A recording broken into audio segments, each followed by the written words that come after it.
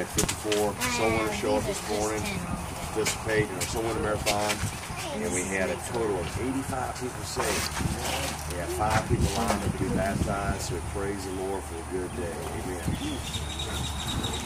Amen.